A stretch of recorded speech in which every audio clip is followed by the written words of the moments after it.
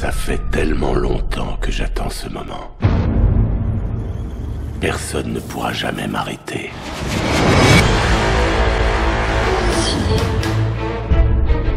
À la fin du siècle dernier a été conçu un programme. Dans ces labos, des scientifiques se livraient à des expériences génétiques sur des êtres humains.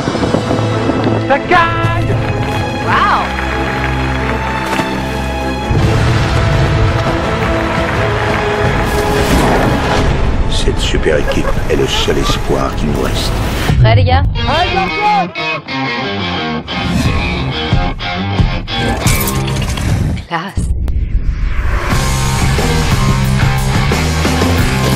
On va se marrer.